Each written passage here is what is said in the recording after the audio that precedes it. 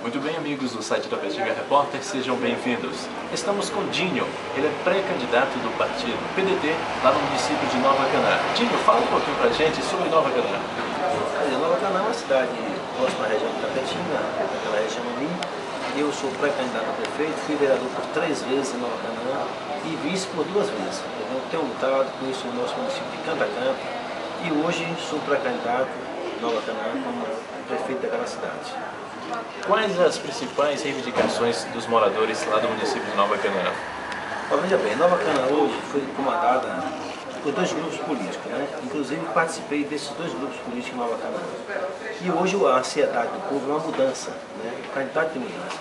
Então as, a, a proposta desses grupos políticos são as mesmas, os discursos são os mesmos, e nós estamos hoje com um projeto diferente para a nossa cidade, né? Para a nossa cidade crescer, desenvolver.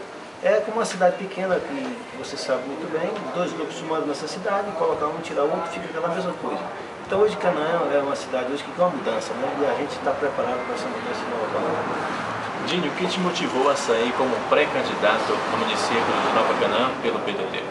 Primeiro, a gente já é político, né? Eu sou médico veterinário, né? já conheço, já fui vereador por três vezes, já tenho uma experiência muito forte no legislativo, fui presidente de Câmara, vice-prefeito, sou um vereador, um vice-prefeito atuante, né? Tenho conseguido muitas obras com o governo da Bahia, através do deputado aqui, Mário Monte, deputado federal, e o Clínio Fernandes, deputado estadual. Então a gente tem conseguido recursos através do programa para Todos. Hoje na CAR, por exemplo, nós temos conseguido muitas obras importantes. Então isso aí, além da gente ser filho da terra, né, nos motiva a gente ver a nossa cidade hoje comandada por esses grupos políticos, não, e não crescer, não desenvolver, não ter um projeto para o esporte, para o lazer, né, na infraestrutura. Então é isso aí, a gente já é, já é formado, tem conhecimento. Né? Então a gente quer o bem da nossa cidade. Então a gente tem um projeto hoje para a nossa cidade crescer e desenvolver. O município de Nova Canaã conta com mais um, mais um distrito, Icaraí. O que, que, você tem a dizer, qual a mensagem que você passa para Icaraí, que antes pertencia ao município de Caratiba? Ó, Icaraí é minha, é minha terra natal. Né? Eu nasci e me criei próximo a Icaraí. Eu sou filho de Gabriel Rocha. É, todas as pessoas de Icaraí sabem muito bem, inclusive você, Neto Minovino, seu pai era muito amigo do meu pai. Então, o Icaraí do Ranulfo. Então, aquela cidade, a cidade que a gente gosta, a gente ama. Né?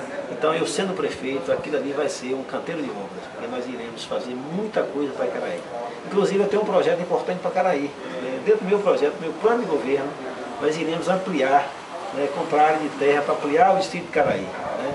É um dos projetos meus para Caraí. E também fazer uma quadra poliesportiva ali em Caraí, um distrito que a gente gosta, a gente ama. Eu sou esportista, eu amo esporte. Então eu tenho esses dois projetos para Caraí. Claro, tem algumas pavimentações de, de, de ruas em Caraí também, por lei do plano do governo. Então Caraí é uma cidade que eu amo, um distrito que eu amo, que eu nasci e criei ali. Comprei muita carne ali no final de Dorito, o pessoal de Teles.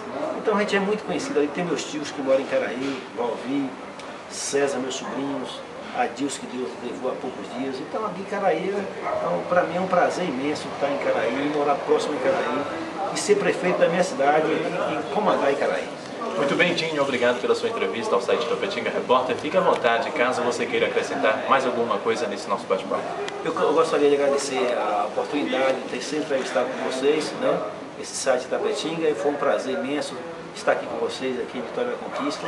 Né? E meu muito obrigado, esquecemos que nas próximas a gente possa encontrar várias vezes e dar mais alguma nova entrevista. É isso aí, Tapetinga Repórter, as notícias que você precisa saber.